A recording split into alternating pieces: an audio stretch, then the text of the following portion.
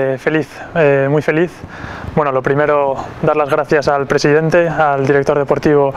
y al entrenador por la confianza que han depositado en mí. Eh, yo entré en este club con, con 10 años, tenía un sueño para el que he peleado durante todo este tiempo y, hoy se, se, ha hecho realidad, así que estoy muy contento. Sí, como tú dices, un sueño que se ha hecho realidad entré, lo que te he dicho antes, entré con 10 años eh, de la mano de Pachi y Arramendi desde el primer entrenamiento y, y, he pasado por todas las categorías inferiores de la Real Sociedad, eh, poco a poco quemando etapas y, y, es algo que ves con, sobre todo cuando estás en, en, infantiles, cadetes, lo ves lejos y dices algún día y bueno, el día ha llegado y, y como te digo, eh, además yo soy Donostiarra, de la Real de toda la vida, Real Sale y y es el sueño de, todo chaval que, que, empieza en la cantera de aquí de Donosti.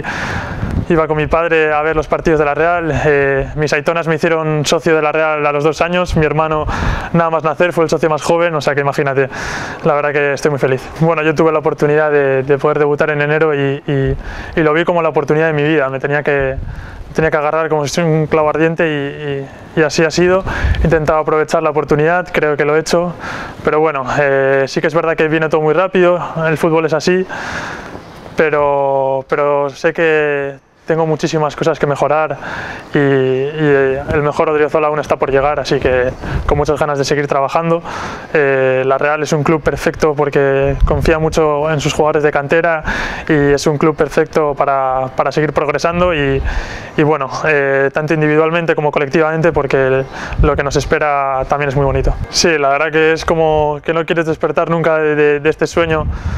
eh, intento disfrutar cada momento de lo que estoy viviendo y,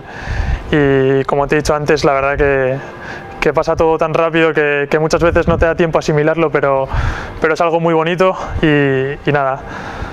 También quiero decir que de lo que estoy seguro es que lo mejor está por llegar, así que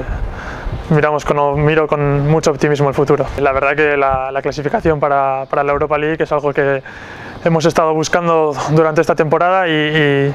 y, bueno, vamos a tratar de disfrutar, pero con, con la responsabilidad que eso conlleva. De la, los aficionados tienen muchas ilusiones depositadas en esa competición y vamos a intentar no, no defraudarles. Sí, seguir apuntalando proyecto, ¿no? seguir eh, metiendo jugadores de Zubieta en, en el primer equipo de la Real Sociedad, seguir generando activos para el club y en el caso de Álvaro, pues una irrupción muy potente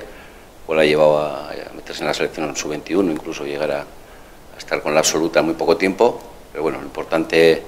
es que eso le genere motivación, ganas y que, bueno, que sepa que no ha hecho más que, más que empezar, más que meter la primera, el primer pie en, el, en la Real Sociedad y esperamos que, que su rendimiento no sea eh, de este sentido, que sea mucho más largo y más, más continuo. ¿no? Sí, ellos ponen, ponen todo de su parte y el club está poniendo todos los instrumentos y toda la todas las posibilidades para intentar seguir formando jugadores en, en. En el caso de Álvaro, pues un jugador que, bueno, pues que fue reubicado en su posición, ¿no? llegaba como un jugador más, más ofensivo, pero que bueno, eh, se fue aclimatando, eh, vimos que sus opciones igual que jugar de lateral eh, le iba a permitir tener un mayor crecimiento y un mayor rendimiento y bueno, pues nos tenemos que eh, felicitar todos.